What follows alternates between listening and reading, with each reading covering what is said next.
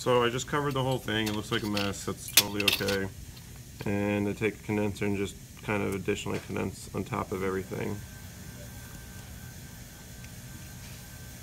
And I'm using moderate to even heavy force just to make sure I'm really condensing the amalgam. You don't want to break.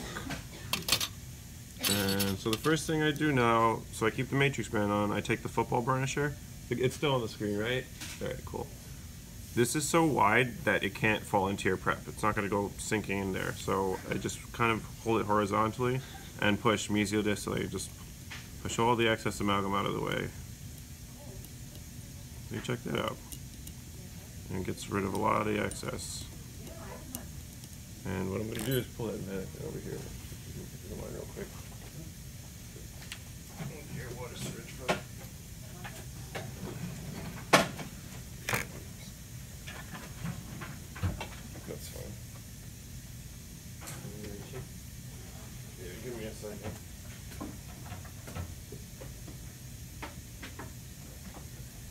Alright, so I blow away the excess.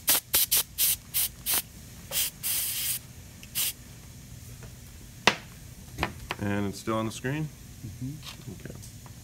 So now I'm going to take the discoid cleoid because I, I, prefer this one, but you see how this end is shaped like a leaf?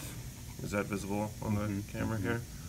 So I rest this on existing tooth structure. So I'll do a little drawing over here after this, but what I'm doing is resting the side of the leaf on the cuspal incline of each cusp. And the point of it is going into the amalgam, but I'm not, I'm not just putting this into the amalgam, carving it freehandedly. I'm just resting this on what's already there and pulling. So I'm dragging this along and what it's going to do is just remove any excess amalgam that's there for me and it kind of just leaves my anatomy behind that I desire.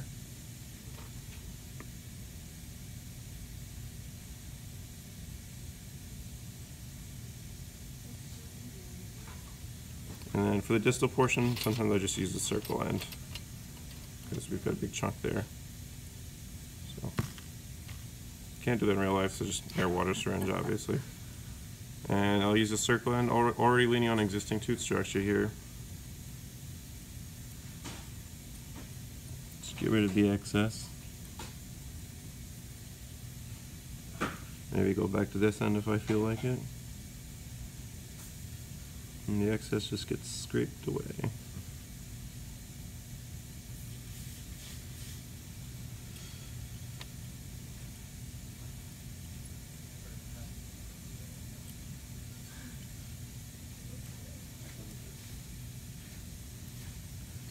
Tell me if it falls off the screen.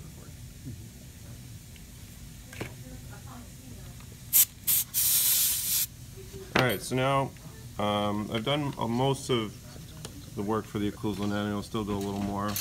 I'll take what's called the acorn burnisher here. It's got a bigger end here. It's kind of shaped like a cone with a point on it. So if I were to try to put this into the prep here, like, can you see this? It can't, it can't go in there. It can't mess up your amalgam too much. So what I do is I go into the distal area, of the pit here, and I just kind of push. You see a dot there? That's one pit. And I go in the center. I don't push as hard here because the prep tends to be larger, but push a little bit there. And just a little on the mesial because I don't want to disturb the ridge too much just yet. So now I have three pits, right? And we also want grooves to happen for anatomy, so we've got, you know, each molar's got kind of like a lingual developmental groove here and a, and a buccal one here. And so I'm going to do that. One lingually, and I kind of always I always just go out into out and then I go buccally same thing here so here push in the central uh, fossa a little bit and then go lingually and you can kind of see grooves forming right mm -hmm. and the mesial will do the same thing but just a little less pressure because I don't want to disturb the ridge too much and also kind of go around each cusp I don't really like draw a straight line just I kind of just circle the cusp here because that's what the grooves really are. And you see the anatomy kind of just coming out by itself?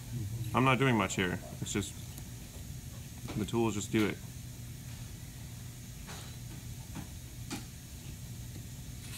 Alright, so now um, I'm going to go back to the ball burnisher with the football end. Um, I mean, with the ball end anyway. And I kind of just pat down the, the marginal ridge here a little bit. Because we're gonna be we're gonna be taking off the matrix band soon. But before I take off the matrix band, I want to just take off any excess and approximately here. So I want to take care of the occlusal embrasure. So what I do is I put the explorer tip in here, not all the way, just a little bit, and I kind of put pressure axially, like outward, against the matrix band.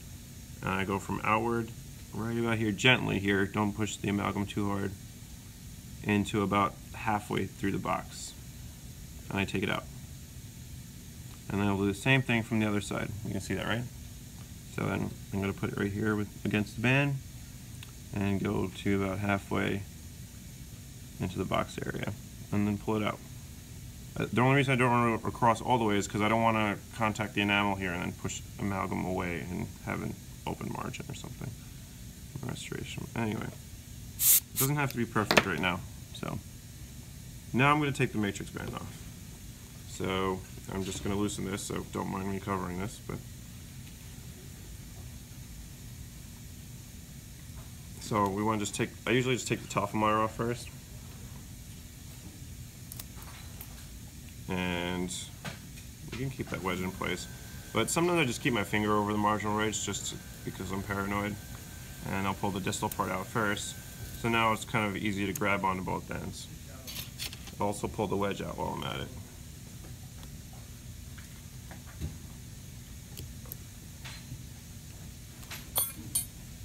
Now, still on the camera? Okay.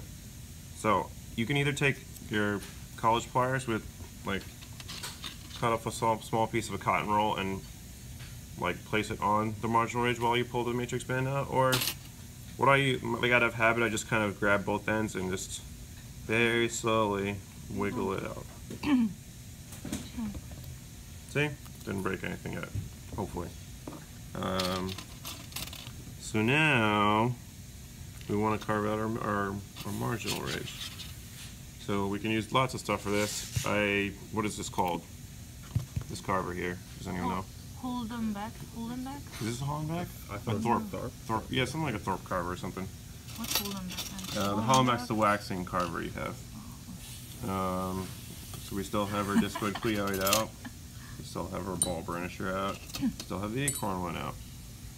And what I'll do first, I'll take the round end on the discoid cleoid, and so we want we see the mesial fossa here. It's a depression, so it kind of just hollow it out a little bit, really, really gently, because a fossa is a fossa. It's a depression. I can. It's literally scooped out, so that's what I'm doing, just a little bit. And like in doing so, I'm leaving the ridge behind. Um, I could also take the discoid leaf end also, and just kind of take down the ridge height if I wanted to.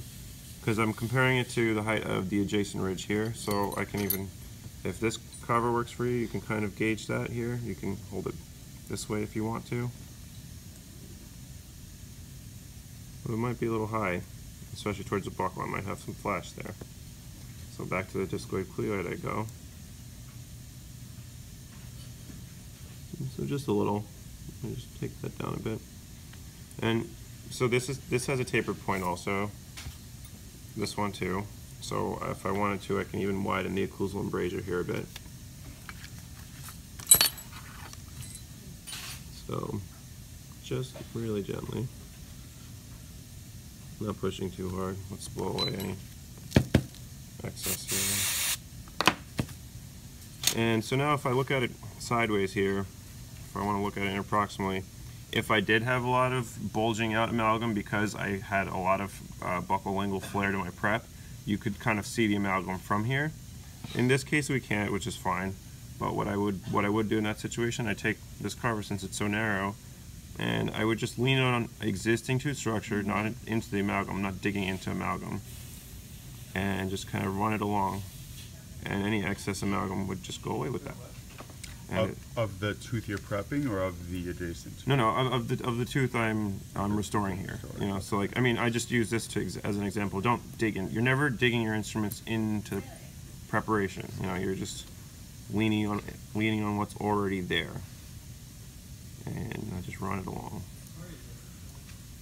And the same thing from the other side if I had to. I don't think you need to here, but I'm just kind of showing you for example's sake.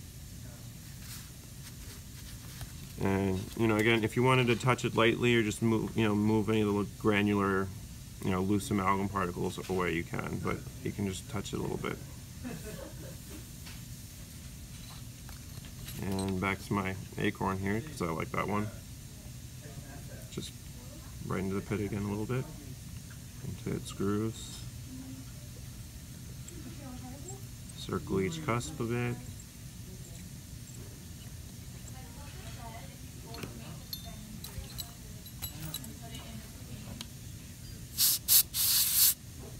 And the ball burnish I also use kind of, it's like a broom almost, I just gets rid of any excess there.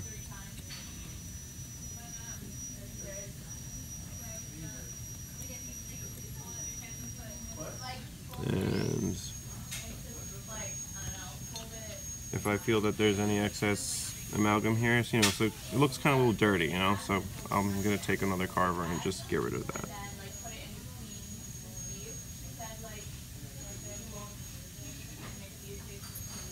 See, it's usually just loose particles that are there on the surface.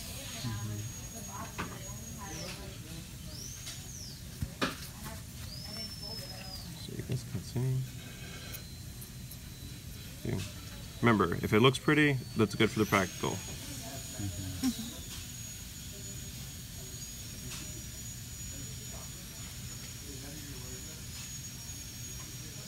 See how that little excess comes away?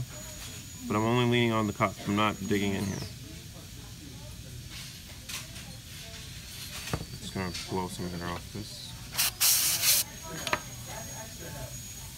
And where's the ball burnisher again? I'm just gonna kind of run it over the marginal ridge just to have have us like a smoother texture there. Yeah, you're not in the thing anymore. Oh, here we go. Better? Mm-hmm. Mm-hmm. Also, your microphone's on. Is it? It's not working. Oh, come on. Hello? You're not on, right? Can anyone hear this microphone?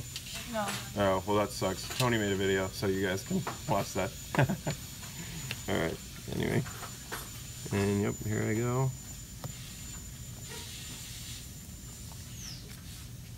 And there you have it. See?